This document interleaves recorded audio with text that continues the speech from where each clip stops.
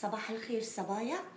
آه، اليوم بدي أعطي بعض الملاحظات اللي فعلا هي مفيدة للمبتدئات على الكبة الصينية.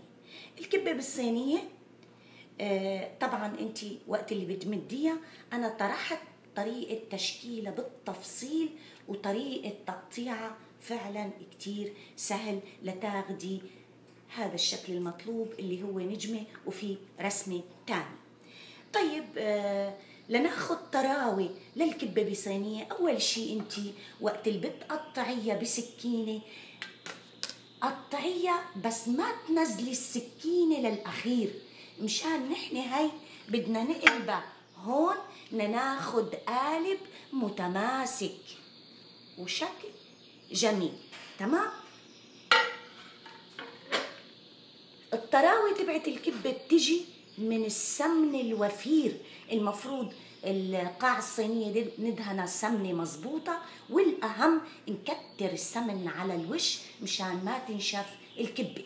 أثناء عملية الشوي طبعا أول شيء بنحمي الفرن خمس دقايق بعدين بندخلها بنشعل من تحت بشقروا الحواف منطفي من تحت بنشعل من فوق. نحن الزينة هي اللوز إلى غايتين غاية تجميلية وغاية تعطيكي إشارة للاستواء بأنه أخذت عجينة الكبة الاستواء الكامل.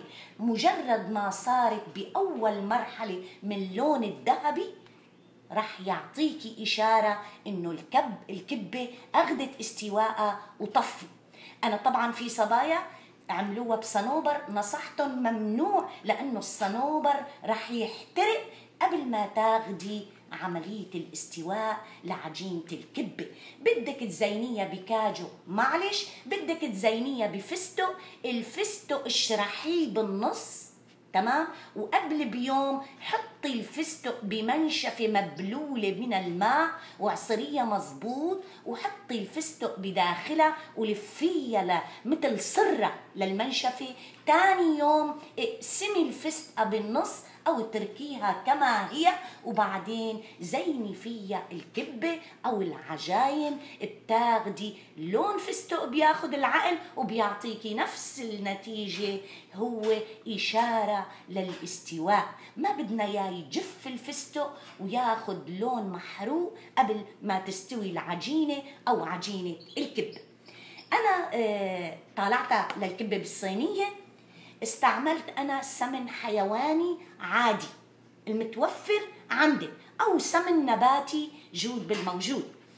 مجرد ما اطالعها عندي سمن عربي باخد معلقة على طريقة الحلو هن ما بتوفي معهم يعملوا الكبة أو الحلو بسمن عربي سك. دايما بيستعملوا مثل البخاخ أو السرنج لأنه طعم السمن العربي راح يطغى على الطعم ويضيع السمن النباتي طعمه أو الحيواني العادي. باخذها بهالطريقة شوفي شلون راح تعطيها اللمعة. بهالطريقة بدون ما ازعجها للكبه أنا هلأ بس تبرد شي عشر دقايق بس بغطيها فرضنا أنا احترقت معك احترقت انت معك وش الكبه أخذت لون زايد. إيش بتساوي؟ ما تخافي. التأمير بتروم مجرد ما تغطي صينية الكبة وتحطيها على جنب بعد ساعتين ثلاثة رح تفتحي تلاقيها رطبة وأخذت الليونة. أنا هلأ بعد ربع ساعة رح أغطيها. طيب ما تستعجلي وتسكبي الكبة بالقالب وهي سخنة. أصلا الكبة الصينية هي طيبة دافية. دافية ومايلة حتى للبرودة مجرد ما تبرد تماما أنا بحط هالصحن بهالشكل. صحنين مثل بعض بحطها بهالشكل.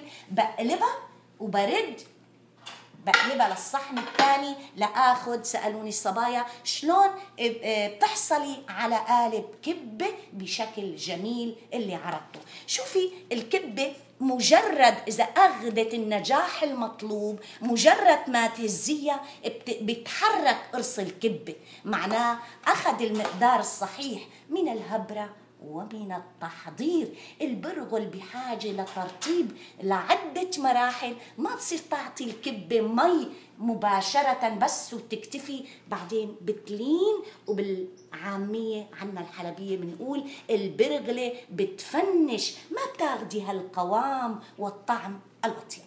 هي هي ملاحظات الكبة. بإذن الله بعد شوي رح أعرض لكم إياها. شلون رح آخذ؟ هلأ أنا رح أقول لك إياها. بهالطريقه شوفي شلون رح تنقلب معي بسهولة ومع إنه هي سخنة. تمام؟ شوفي هالشكل الجميل. أنا هلأ بجيب صحن تاني برد بقلبها. شوفي شلون التقسيم ما نازل لتحت. التقسيم لا تنزليه لتحت. هدول هن الملاحظات. من جروب مطمخ دلال حناوي للمبتدئات والنواعي مغلق خطوة بخطوة. عذرا أنا لكسرة العدد هلأ حاليا موقفة الانتساب لأنه في بعض البنات وجودهم كان للتسلية فقط. رح نستثنيهم وندخل بداله أهلا وسهلا فيكي صبي.